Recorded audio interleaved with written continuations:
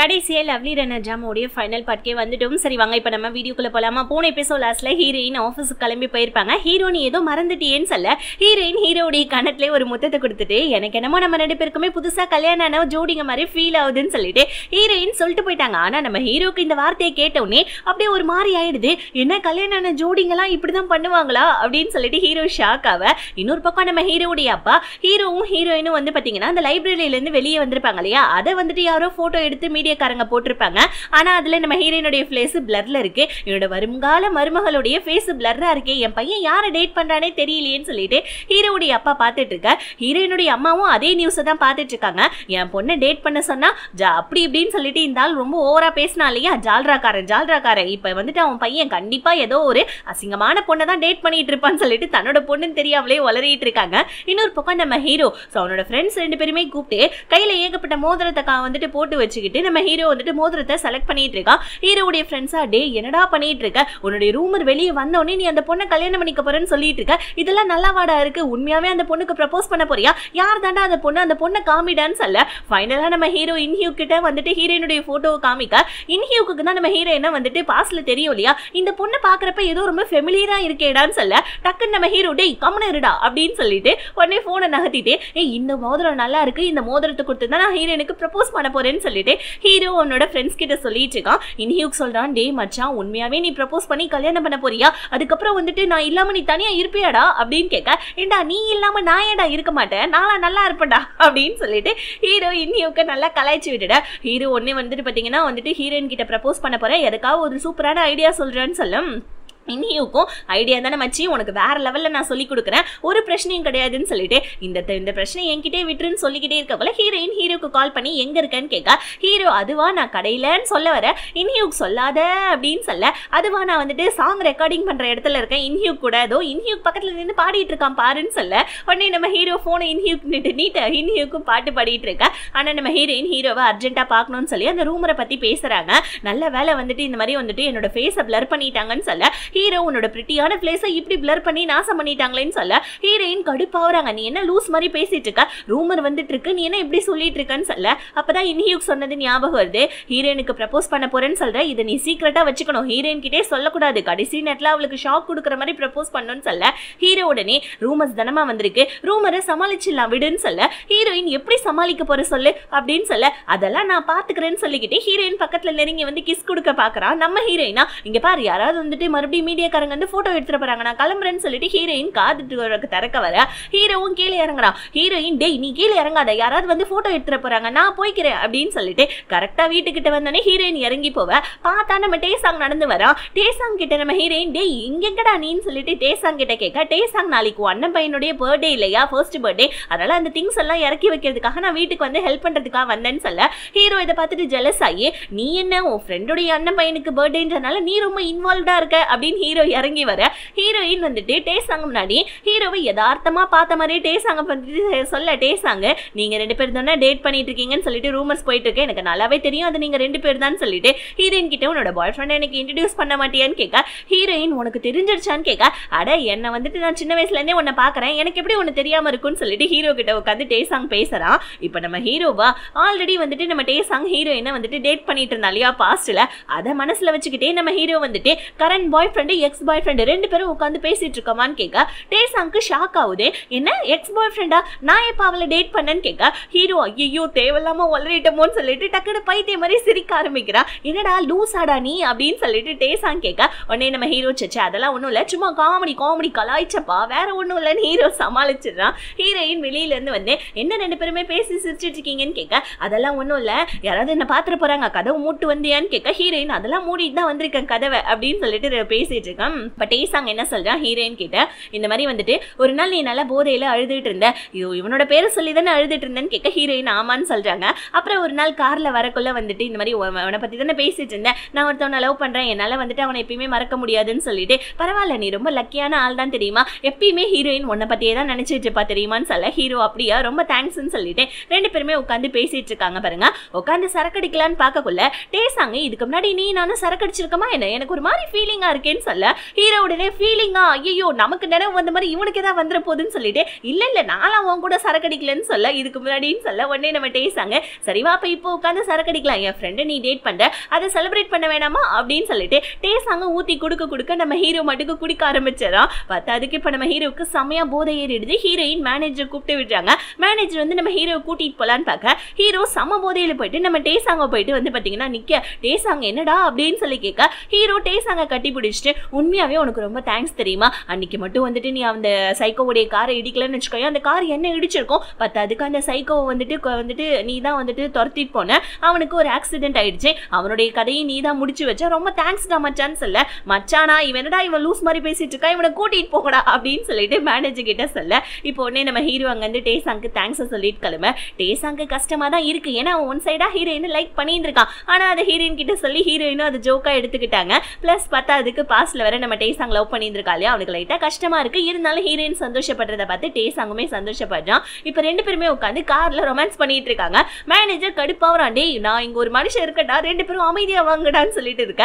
Hero என்ன சொல்றா? இந்த மாதிரி நம்ம ரெண்டு பேருமே லவ் பண்ணிட்டு இருக்கோம். அடுத்த கட்டத்துக்கு நம்ம கொண்டு போயிடலாம். உன்னுடைய வீட்டில் நம்ம சொல்லிடலாமா? அப்படின்னு சொல்ல ஹீரோயின் சரி ஓகே அப்ப நாளைக்கு அண்ணன் பையனுடைய பர்த்டே வருது. அப்பவே நீ வந்து எங்களோட ஃபேமிலியை வந்து மீட் பண்ணிடன்னு சொல்லிட்டு ஹீரோயின் ஹீரோ கிட்ட சொல்றாங்க. இப்போ அடுத்த நாள் நம்ம ஹீரோயினுடைய ஃபேமிலி பர்த்டேவை செலிப்ரேட் பண்றதுக்கு எங்க வந்திருக்காங்கன்னா ஹீரோவுடைய அப்பா ஹோட்டலுக்கு தான். ஹீரோயின் இங்க வந்தோடனே செம்ம ஷாக் ஆகுறாங்க என்னம்மா இந்த ஹோட்டலையா புக் பண்ணியிருக்கீங்கன்னொடனே ஆமாம்மா உள்ள வாமான்னு சொல்லிட்டு ஃபேமிலி உள்ள போவ ஹீரோ கால் பண்ணி எந்த ரெஸ்டாரண்ட்டுக்கு நான் வரணும் பேபின்னு கேட்க உடனே நம்ம ஹீரோயின் எந்த ரெஸ்டாரண்ட்டுக்கு வர தேவையில்ல வை உங்க அப்பாவுடைய ரெஸ்டாரண்ட்ல தான் வந்துட்டு அரேஞ்ச்மெண்ட் பார்ட்டியே நடந்துட்டு இருக்குன்னு சொல்ல ஹீரோவும் காலை கட் பண்ணினா ஹீரோவுடைய அப்பா வந்துட்டு பர்த்டே பார்ட்டிக்காக எல்லா அரேஞ்ச்மெண்ட்டும் பண்ணிட்டு இருக்க.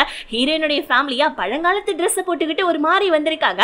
இப்போ ஃபேமிலியில எல்லா மெம்பர்ஸ் கிட்டேயும் நம்ம ஹீரோயினுடைய அப்பா நல்லா தான் பேசுறாங்க. ஆனா நம்ம ஹீரோயினுடைய அம்மாவை பார்த்தா மட்டும் இவருக்கு என்ன தோணுதுன்னு தெரியல. என்னது இது காமெடியா ஜங்கு புங்குன்னு ட்ரெஸ் போட்டிருக்கீங்க. ஜல்லபுலா ஜங் ஜலபுலா ஜங்குன்னு சொல்லிட்டு காமெடி பண்ண ஹீரோயினுடைய அம்மா கடுப்பாயிட்டாங்க. ஆமா இங்க பாருங்க இதுதான் என்னுடைய பொண்ணு. என் பொண்ணு பாத்தீங்களா? எம்பிட்டு அழகா இருக்கா. என் பொண்ணை வந்துட்டு நீங்க மிஸ் பண்ணிட்டீங்கன்னு சொல்லிட்டு நீங்க ஃபீல் பண்றீங்களான்னு கேட்க உடனே ஹீரோவுடைய அப்பா என்ன சொல்றாங்க? நான் ஏமா ஃபீல் பண்ண போறேன்? எனக்கு ஒரு அழகான வந்துட்டு மருமக இருக்கா. என் பையன் டேட் பண்றா நீங்க கூட ரூமரை பார்த்துருந்துருப்பீங்களே அப்படின்னு ஹீரோவுடைய அப்பா அது ஹீரோயினும் தெரியாம பேச நம்ம ஹீரோயின் ஷாக் ஆகி நின்றுட்டு இருக்கா. பாட்டி மை ஹஸ்பண்ட் அப்படின்னு கத்துறாங்க. பின்னாடி எல்லாரும் திரும்பி பார்த்தா ஹீரோ ஒரு பொக்கேவை கையில் வச்சுட்டு வந்துட்டு இருக்கோம் ஹீரோயினும் ஹீரோவை பார்த்துட்டு ஷாக் ஆவ. ஹீரோயினுடைய அம்மா வந்து அன்னைக்கு வந்துட்டு நான் உங்களை வந்துட்டு பார்த்துட்டு ஆட்டோகிராஃபே மறந்து வாங்க மறந்துட்டேன். எனக்கு ஒரு ஆட்டோகிராஃப் போட்டு தாங்கன்னு சொல்லிட்டு ஹீரோ கிட்ட வந்துட்டு கேட்டுட்டு இருக்க. ஹீரோவுடைய அப்பாவா ஐயோ ஒரு நிமிஷம் இருங்க அப்படின்னு சொல்லிட்டு ஹீரோயினுடைய அம்மாவை தடுக்க. பாட்டி ஓடி வந்து நம்ம ஹீரோவை கட்டி பிடிச்சிக்கிறாங்க. அப்பா உடனே அப்பாவை அப்பா பார்க்க வந்தா? கொடு பாப்பாவுக்கு பொக்கேன்னு சொல்ல. ஆனா நம்ம ஹீரோ ஹீரோயினுடைய அம்மா கையில அந்த பொக்கேயை கொடுத்துட்டு அம்மா வணக்கம்மான்னு சொல்ல உடனே என்னது அம்மாவா அப்படின்னு கேட்க ஹீரோயினும் புரிஞ்சுக்கிறாங்க. ஓகே ஹீரோ வந்துட்டு ரிவீல் பண்ண போறான் போல இருக்குன்னு. ஹீரோயினும் ஹீரோ பக்கத்துல வந்து நிக்க. அவ்வளவுதான் இப்ப நம்ம ஹீரோயினுடைய அம்மா அந்த ரூமரை எடுத்து காமிச்சு அப்போ பிளர் இருக்க அந்த பொண்ணு? என்னோட பொண்ணான்னு கேட்க ஹீரோவும் ஆமான்னு சொல்ல ஹீரோயினுடைய அம்மாவுடைய பல்லு முப்பத்தி ரெண்டும் தெரிய வருது செம்மையாக சிரிக்கிறாங்க ரொம்ப ஹாப்பியாக வராங்க எப்போலேருந்து நீங்கள் ரெண்டு பேரும் டேட் பண்ணுறீங்கன்னு கேட்க ஆக்சுவலி நான் ஹை ஸ்கூல் படிக்கிறதுல இருந்தே அதாவது எதிர்த்து வீட்டில் நீங்க இருந்ததுலேருந்தே ஹீரோயினை நான் ஒன் சைடாக லவ் பண்ணிட்டு இருந்தேன்னு சொல்லிட்டு நம்ம ஹீரோ அப்படி கதையவே உல்டாவா சொல்ல மொத்த ஹேம் ஃபேமிலியும் செம்ம ஹாப்பியாக வராங்க ஆனால் ஹீரோ அப்பாவுடைய மூஞ்சை மட்டும் பாருங்களேன். ஒரு மாதிரி உட்காந்துட்டு இருக்காங்க. எந்த பொண்ணை நம்ம வேணான்னு சொன்னமோ அந்த பொண்ணையே நம்ம பையன் லவ் பண்ணிட்டு இருக்கான். இந்த மாதிரி வந்துட்டு நம்ம பையனுக்கு கண்ணு தெரியலையே? எனக்கு காதல் கண்ணை மறைச்சிருச்சு என் பையன்னு சொல்ல. இப்போ அப்படியே கட் பண்ணா பார்ட்டி ஸ்டார்ட் ஆயிடுது. ஸோ இப்போ வந்து பார்த்தீங்கன்னா குழந்தைக்கு எல்லாருமே மொய் பணத்தை வந்துட்டு வைக்கிறதுக்காக எல்லாரும் நானு நானுன்னு கத்த ஹீரோ என்ன பண்ணா ஆயிரம் டாலர் மொய் பணமாக கொடுக்குறானோ? இதை பார்த்துட்டு ஹீரோவுடைய அப்பா ஆயிரம் டாலர் மொய் பணமாக கொடுத்துட்டு இருக்கானோ? என் பையனுக்கு என்ன லூசு கூசு பிடிச்சி போச்சா? அப்படின்னு சொல்லிட்டு நம்ம ஹீரோவுடைய அப்பா பார்க்க கரெக்டாக குழந்தையும் வந்து பார்த்தீங்கன்னா அந்த குழந்தை முன்னாடி வந்துட்டு நிறைய திங்ஸ் எல்லாம் வச்சு எடுக்க சொல்லுவாங்க இல்லையா? அதில் நம்ம ஹீரோவுடைய செக்கை தான் குழந்தையும் எடுக்குது. இதை பார்த்துட்டு உன்னோட வருங்கால அங்கிளுடைய வந்துட்டு செக்கே எடுக்கிறியான்னு சொல்லிட்டு எல்லாரும் ஹீரோ வந்துட்டு பார்த்தீங்கன்னா ஒரு மாதிரி வந்துட்டு கலாய்ச்சிட்டு இருக்காங்க. இப்போ உடனே வந்துட்டு குழந்தையுடைய வெயிட் என்ன? அப்படி இப்படின்னு சொல்லி கேள்வி கேட்க எல்லா கேள்விக்கும் நம்ம ஹீரோக்கு தான் முன்னாடியே ஆன்சர் தெரியும் இல்லையா? நம்ம ஹீரோ டக்கு டக்குன்னு பதில சொல்ல இப்போ ஹீரோ அங்கே சந்தோஷமா ஆன்சர் சொல்லிட்டு எல்லா குடும்பத்து கூடயும் ரொம்ப ஹாப்பியாக இருக்கிறத பார்த்து நம்ம ஹீரோடைய அப்பாவும் ஹாப்பியாக வராரு ஏன்னா இவருக்கு இவரோட ஃபேமிலி ப்ளஸ் இவரோட பேக்ரவுண்ட்லாம் யாரும் இல்லை இல்லையா? தன்னோட பையனும் அதே மாதிரி தனிமரமாக இருந்துருவானோன்னு பயந்துருப்பாங்க. ஆனால் இப்படி ஒரு ஃபேமிலி கிடைச்சதுனால ஹீரோவுடைய அப்பாவும் இப்போ சந்தோஷப்படுறாங்க. பத்தாதுக்கு நம்ம ஹீரோவுடைய ஃப்ரெண்ட்ஸ் பேண்ட் மெம்பர்ஸ் அதாவது எக்லிப்ஸோடைய மற்ற மூணு பேண்ட் மெம்பர்ஸும் வந்துடுறாங்க. டேய் பரட்டத்தலைங்களா நீங்கள் எங்கடா இங்கன்னு சொல்லிட்டு ஹீரோடைய அப்பா கேட்க நம்ம ஹீரோ தான். என் மச்சானுடைய பையனுக்கு ஃபர்ஸ்ட் பர்த்டே அதனால நீங்கள் எல்லாருமே வந்து இந்த மாதிரி ஒரு சூப்பராக ஒரு பார்ட்டியை வந்துட்டு ரெடி பண்ணணும். அப்படி ரெடி பண்ணீங்கன்னா உங்களுக்கு நாங்கள் இன்ஸ்ட்ருமெண்ட்லாம் வாங்கி தரேன் ஹீரோ அவனோட ஃப்ரெண்ட்ஸ் கிட்ட சொல்ல. இப்போ எக்லிப்ஸில் இருக்க எல்லா மெம்பர்ஸும் பார்ட்டி கொண்டாடுறதுக்காக வந்துடுவாங்களா அவ்வளோதான் இப்போ ஹீரோயினுடைய வந்துட்டு தூரத்து சொந்தம் ஃபேமிலி மெம்பர்ஸ் எல்லாருமே எக்லிப்ஸோடைய பேண்ட் மெம்பர்ஸ் எல்லாம் பார்த்துட்டு செம்மையாக ஹாப்பி ஆகுறாங்க. கூடவே சேர்ந்து ஷாக் ஆக எல்லாருமே சேர்ந்து இப்போ பர்த்டே செலிப்ரேஷனை பண்ணுறாங்க ஹீரோயினுக்கு அப்படி ஒரு ஹாப்பியாக இருக்குது. இப்போ கட் பண்ணால் நம்ம ஹீரோ அப்படியே பார்ட்டியெல்லாம் முடிஞ்சு ஹீரோயினை ஒரு போட்டில் நம்ம ஹீரோயினை கூட்டிகிட்டு போயிட்டு இருக்கான். அதாவது அதே நதிக்கரையில் ஒரு போட்டில் தான் ஹீரோயின் உன்னோட பேண்ட் மெம்பர்ஸோடய வந்துட்டு மியூசிக்லாம் கேட்கறதுக்கு எத்தனை பேர் ஆவலாக இருக்காங்க. நீ என்னோட ஃபேமிலிக்காக இவ்வளோ பண்ணது எவ்வளோ ஹாப்பி தெரியுமான்னு சொல்ல. இப்போ அந்த பார்ட்டியெல்லாம் முடிஞ்ச முடிஞ்சோடனே ஒரு சீன் நடந்திருக்கும். நம்ம ஹீரோயினுடைய அம்மா ஹீரோ கிட்ட வந்துட்டு நீ என் ஃபேமிலியில் ஒருத்தவன் நினைக்கிறப்ப எனக்கு ரொம்ப ஹாப்பியாக இருக்குன்னு சொல்ல. ஹீரோயினுடைய அண்ணன் என் தங்கச்சி நீ நல்லா பார்த்துக்கலன்னு வச்சுக்கோங்க உன்னை அவ்வளோதான் சீவி விடுவ சீவி அப்படின்னு சொல்லிட்டு ஹீரோ மிரட்ட ஹீரோ உடனே நீ சீவறதுக்கெல்லாம் கத்தி எடுக்க தேவையில்ல மச்சான். ஏன்னா உன்னோட தங்கச்சியை நான் நல்லா பார்த்துப்பேன். நீ கூட ஏதோ மூவியில் நடிக்கணும்னு ட்ரை பண்ணல. என்னுடைய அடுத்த மூவியில் கண்டிப்பாக உன்னை நான் சேர்த்துக்கிறேன்னு சொல்ல. மச்சான் ரொம்ப தேங்க்ஸ்டா அப்படின்னு சொல்லிட்டு ரெண்டு பேருமே பேசிக்கிறாங்க.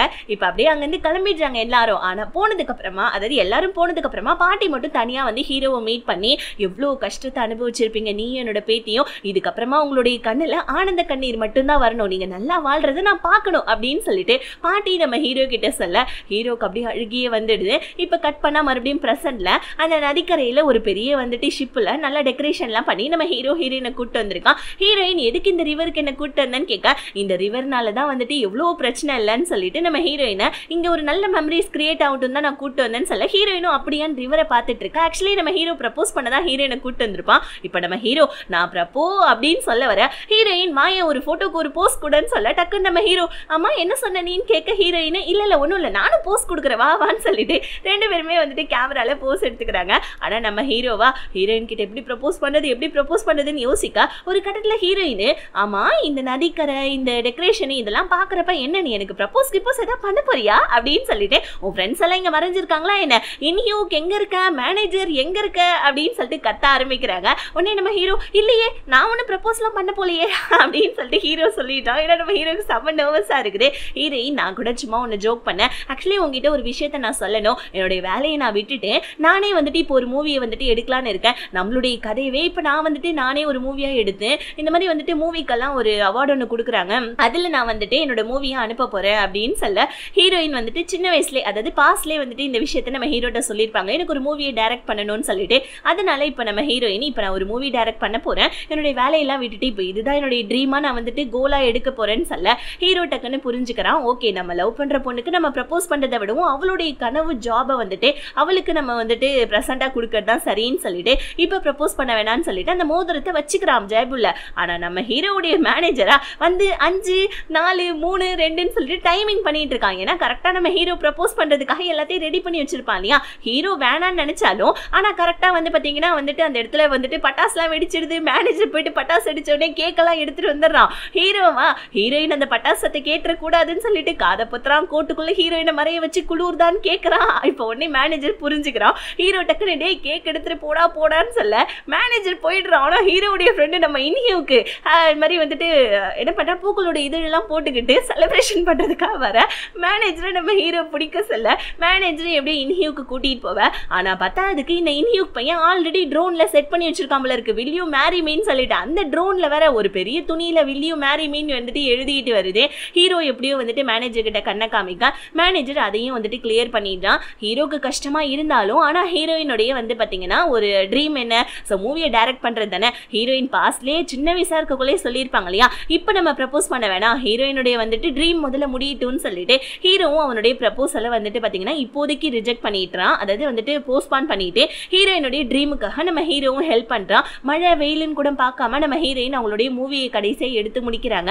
அதை எடிட்டிங்கும் நம்ம ஹீரோயினே உட்காந்து பண்ணுறாங்க ஆனால் ரொம்ப நாள் ஆயிடுச்சு நம்ம ஹீரோ ஹீரோயின் ஒன்று வந்துட்டு பார்த்தே போல இருக்கும். இப்போ ஹீரோ வந்துட்டு ஹீரோயின் கிட்ட ஏமா என்னதாம்மா பண்ணிட்டு இருக்கேன் ப்ளீஸ்மா நம்ம மீட் பண்ணலான்னு சொல்ல. ஹீரோயின் நான் எடிட்டிங்கில் இருக்கேன். நான் முடிச்சுட்டு உனக்கு கூப்பிட்றேன்னு சொல்லிட்டு ஹீரோ போயிட்டு தூங்க சொல்கிறாங்க நாளைக்கு ஷூட்டிங் இருக்குது நீ போய் தூங்குன்னு சொல்லிட்டு ஆனால் ஹீரோ தூங்காமல் ஹீரோயினை வந்து பார்க்குறான் ரெண்டு பேருமே க்யூட்டாக என்ன பண்ணுறாங்க அப்படியே வந்துட்டு காரில் வந்து இறங்குறாங்க. ஹீரோவா வீடு வந்துருச்சுமான்னு சொல்ல பக்கத்தில் பார்த்தா ஹீரோயின் நல்லா தூங்கிடுச்சாங்க.